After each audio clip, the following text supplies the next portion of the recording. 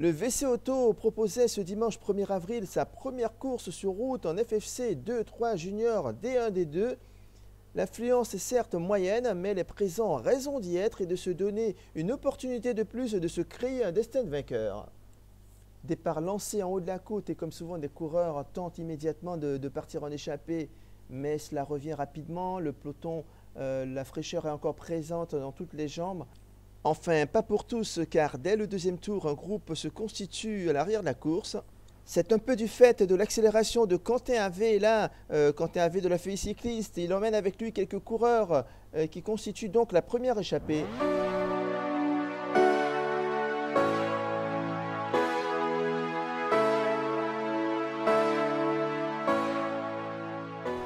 On est au troisième tour. Au troisième tour, il y en a 12 de 8 km. Luc Moulin de l'USAPB est en tête. Il va faire quasiment tout le tour en tête. Il sera repris à la fin de ce troisième tour. Donc, on est à la fin du quatrième tour. On est à la fin du quatrième tour avec trois hommes là, trois hommes euh, qui se donnent pour progresser. Ils ne sont pas en tête, ils sont contre. Ils sont contre. Là, il y a le et notamment, regardez bien le dossard numéro 5 de Montigny, le Bretonnet dans les Yvelines.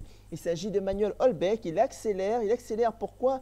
Il accélère pour intégrer la tête de course. Ils sont six devant dont Laurent Griffon du SC Val d'Arrêt, Aurélien Dubo du VC Vernon, Judica Marie de Lucie Orléans, Dominique Trinquet d'Hérouville, entre autres.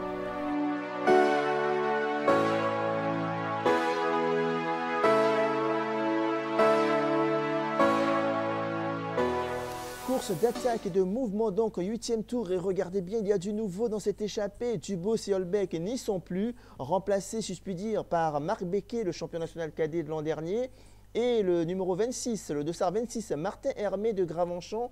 Mais surtout, regardez la présence du dossard 44, Luc Moulin, et du dossard 48 en bleu, Dominique Trinquet de sont, ils sont très actifs, ils ont été très actifs, toujours, quasiment toujours fait partie d'une échappée euh, pour ne pas rater, euh, pour ne pas rater leur destin de vainqueur. Luc Moulin est parti, là, il est parti euh, en échappée solitaire. Est-ce que ça va revenir derrière? Voyons voir. Luc Moulin repris à l'entame du dernier tour, donc regroupement, regroupement à moins de 8 km de l'arrivée. Alors allons voir euh, à nouveau un coureur repartir en échappée ou euh, l'arrivée en petit, groupe. Voilà, on est proche de l'arrivée, on est proche de l'arrivée là avec, euh, ces coureurs. Allons voir la victoire de la jeunesse avec Rémi le Jeune, le bien nommé, et les frères Moulin ou la victoire de l'expérience avec Trinquet et Gignot.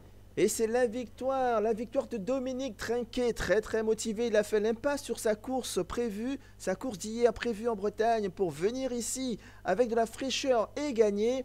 Et il remplit son contrat, je dirais, en faisant l'impasse sur la course d'hier. Il s'est créé son destin de vainqueur. Course de Petite Ville 2018, victoire donc de Dominique Trinquet. Alors déjà pour la course, j'étais vraiment motivé de venir ici puisque un, des collègues d'entraînement, Bertrand Lecoq, a gagné l'an dernier. Donc je lui ai dit j'y vais motivé. Et euh, moi qui cours généralement beaucoup, j'ai fait l'impasse sur euh, la course d'hier à Noyal en Bretagne pour vraiment avoir les jambes fraîches aujourd'hui parce que je savais qu'il y avait du dénivelé, que c'était dur et je venais vraiment pour gagner. Quoi. Donc euh, j'ai pris pas mal d'échappées pour pas me faire piéger, même si à un moment Saint-Os en surnombre avait mis un coureur, mais j'étais quand même pas trop trop inquiet parce que il fait un super numéro, mais tout seul sur un circuit aussi dur, même avec 15-20 secondes, c'est quand même très compliqué. Il a fait un super truc, mais c'est compliqué quoi. C'est un circuit qui, amène pas trop à rouler seul en fait. Hein.